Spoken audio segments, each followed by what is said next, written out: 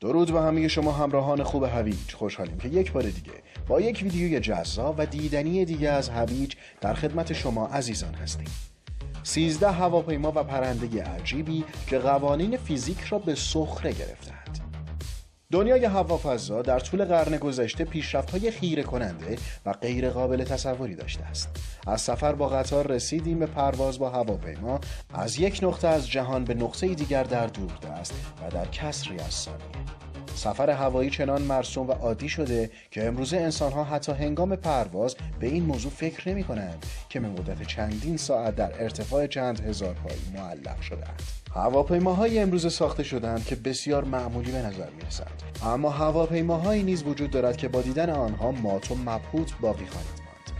در ادامه این ویدیو قصد داریم شما را با تعدادی از عجیب ترین هواپیماهای ساخت بشر که قوانین فیزیک را زیر پا گذاشتند آشنا کنیم. با هم ادامه این ویدیو رو می‌بینیم اما قبلش یادتون نره که این ویدیو رو لایک کنید و با دوستان خودتون به اشتراک بگذارید.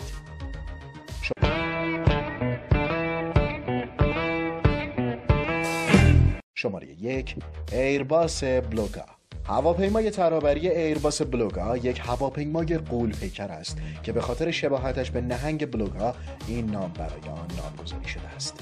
هنگام ساخت این هواپیما افکار و هدفهای بزرگی در ذهن سازندگان آن بوده و این هواپیما در واقع برای چالش برانگیز بودن ساخته شده است.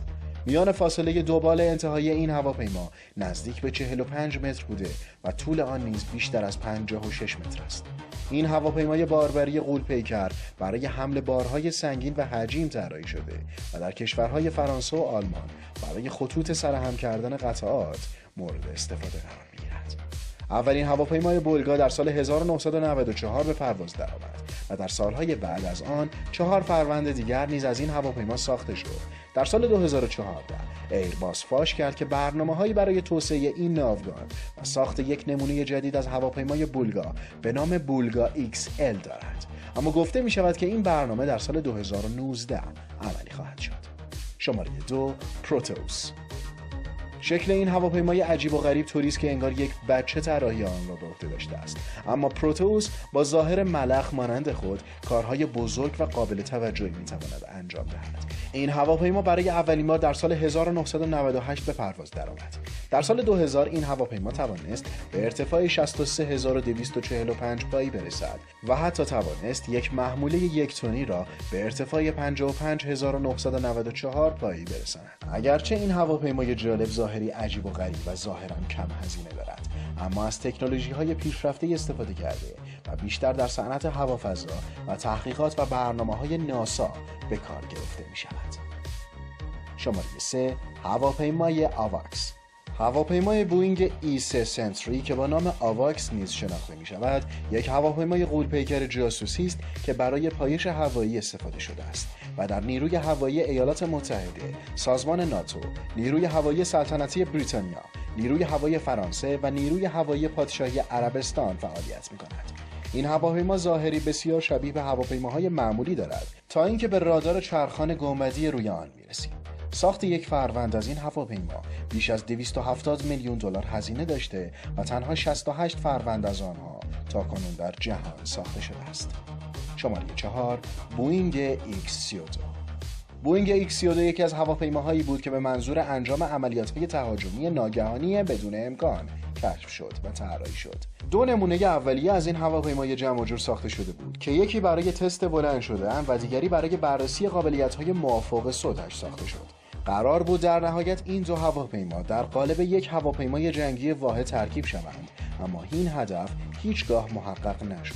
این هواپیماها اکنون در موزه نگهداری می شوند و اعتبار خود را از دست دادند شماره 5 هندلی پیج ویکتور. کمپانی هواپیماسازی هندلی پیج این هواپیمای غول‌پیکر را در سال 1950 ساخت. هدف اصلی از ساخت این هواپیما این بود که از آن برای انداختن بمب هسته‌ای استفاده شود. روی هم رفته سه مدل از این هواپیماها ساخته شد. بمب افکن شناسایی و سوخت رسان.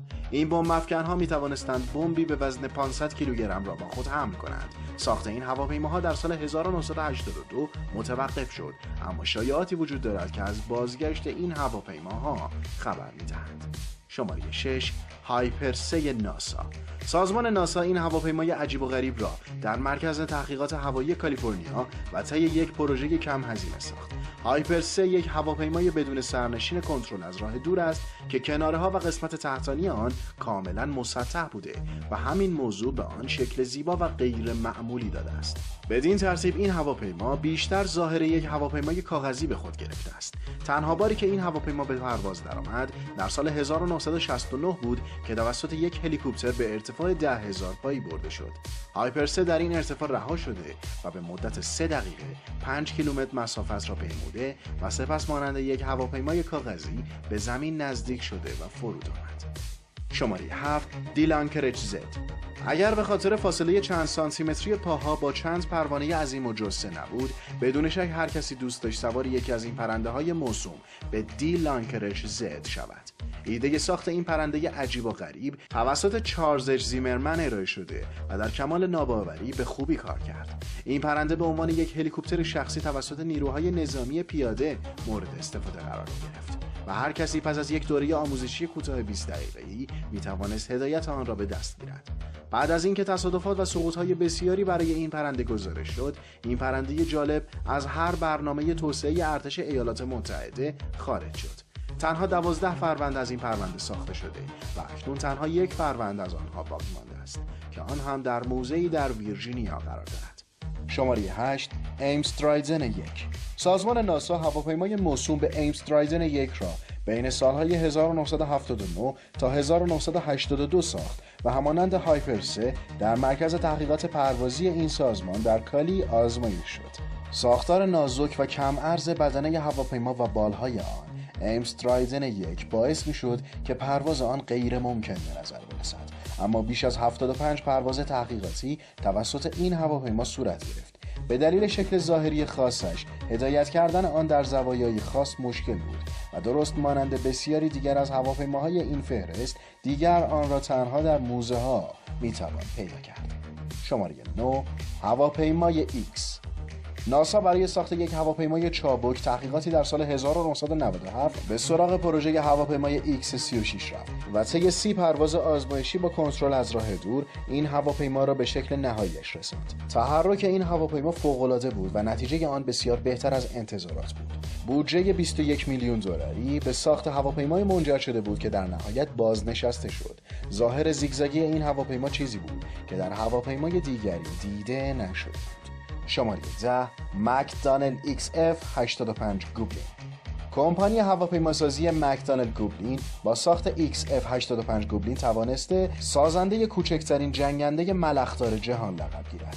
از این هواپیما به عنوان پارازیت یاد می شود زیرا XF85 توسط بمب افکن های دیگر حمل شده و در صورت مورد حمله قرار گرفتن رها می شدند اولین نمونه از این هواپیما در سال 1948 به پرواز درآمده و البته کارایی چندانی نیز نداشت. پروژه تحقیقاتی ساخت این هواپیما یک میلیون دلار هزینه در بر داشته اما ساخت آن عملا هیچ سودی نداشت. شماره 11 سیکورسکای ایکس نمی‌توان گفت این پرنده هواپیما بوده یا هلیکوپتر. کمپانی سیکورسکای یک پرنده غول پیکر را به سفارش سازمان ناسا ساخت. این پرنده دارای سیستم روتوری چهار ای بود که به یک هواپیمای ایکس وینگ اضافه می‌شد. سیکورسکای ایکس وینگ مانند هلیکوپتر از زمین بلند شده و سرعت یک هواپیما را داشت. نمونه اولیه این پرنده در سال 1986 ساخته شد اما هیچگاه به پرواز در نیامد و دو سال بعد کل پروژه آن کنسل شد. شماره 12 استیپا کاپرونی. لویچی استیپا یک طراح هواپیمای ایتالیایی بود که ایده ساخت هواپیمای عجیب موسوم به استیپا کاپرونی را همراه با کاپرونی تحقق بخشید. این هواپیما به بشکه پرنده معروف شده و برای اولین بار در سال 1932 به پرواز درآمد. اما مشکلات آیرودینامیکی که به دلیل طراحی خاص آن وجود داشت باعث شد که موتورهای آن از قدرت کافی برای بلند کردن و نگه داشتن آن در هوا عاجز بمانند. از این رو نیروی هوایی سلطنتی ایتالیا این پروژه را نادیده گرفت.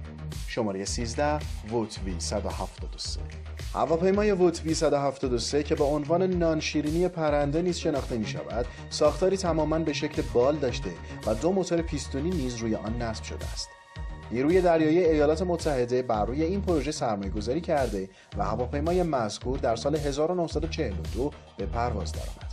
در آن دوران مردمی که در نزدیک محل ساخت و توسعه این هواپیما زندگی می‌کردند بارها اعلام کردند که یک سفینه فضایی را با چشم خود در آسمان دیدند نان‌شیرینی پرنده در نهایت در سال 1947 از سرویس خارج شد.